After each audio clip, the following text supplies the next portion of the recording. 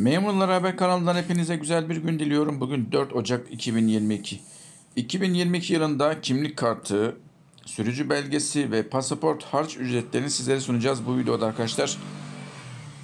Başvuru nedeni kimlik kartı kanuni bildirim süresi dışında doğum nedeniyle düzenlenen Türkiye Cumhuriyeti kimlik kartı için başvuru ücreti 37 lira 50 kuruş oldu arkadaşlar.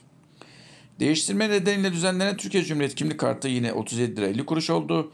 Nüfus cüzdanı kayıp bedeli yine 37 lira 50 kuruş oldu. Türkiye Cumhuriyeti kimlik kartı kayıp bedelinde 75 lira ödeyeceğiz. Uluslararası aile cüzdanı bedeli 200 TL oldu. Mavi kart bedeli de 20 TL oldu arkadaşlar.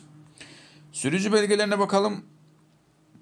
Başvuru nedeni eski tip sürücü belgesini yenileme arkadaşlar. Değerli kağıda 13 lira vereceğiz. Vakıf hizmet bedeline 2 lira vereceğiz. Toplamda 15 TL vereceğiz.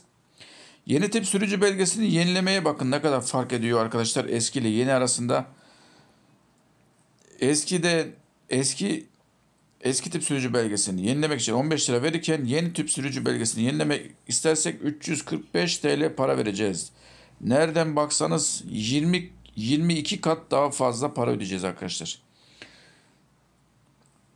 İlk defa sürücü belgesi alım ve sınıf ekleme işlemleri için A, A1, A2, EH ve engelli harç bedeli 370 lira 40 kuruş, değerli kağıt bedeli 280 lira, vakıf hizmet bedeli 65 lira toplamda 715 lira 40 kuruş ödeyeceğiz.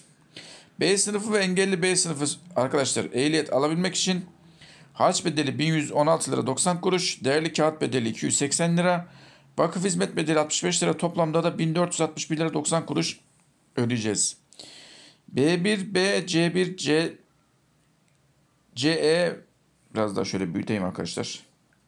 B1, BE, C1, C1E, C, CE, D1E, D, DE, GM arkadaşlar. Sürücü belgelerine harç bedeli 1863 lira 70 kuruş ödeyeceğiz. Değerli kağıt 280 lira ödeyeceğiz. Vakıf hizmet bedeli de 65 lira ödeyeceğiz. Toplamda bu sürücü belgesini almaya çalışırsak 2022 yılında 2208 lira 70 kuruş ödeyeceğiz. Gel gelelim pasaportlara. 6 aylık süreli pasaport almak isterseniz harç bedeli 309 lira 40 kuruş.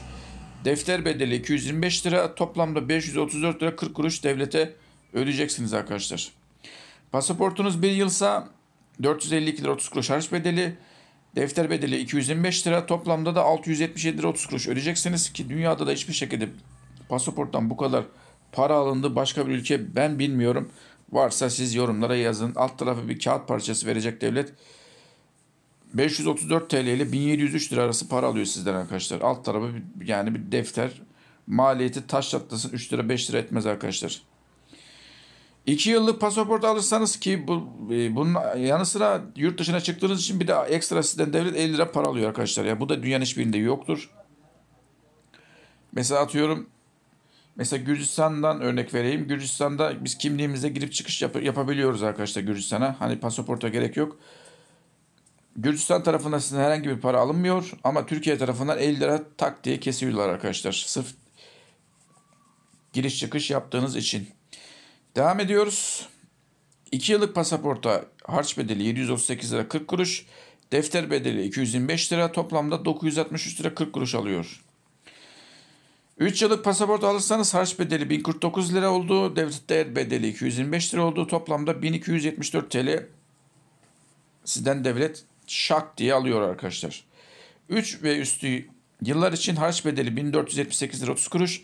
Defter bedeli 225 lira. Toplamda 1703 lira 30 kuruş vereceksiniz devlete. Bunları nasıl alırsınız? Kimlik kartı, sürücü belgesi ve pasaport bedelleri için anlaşmalı bankalara paraları yatırabilirsiniz. TC kimlik numaranız ile.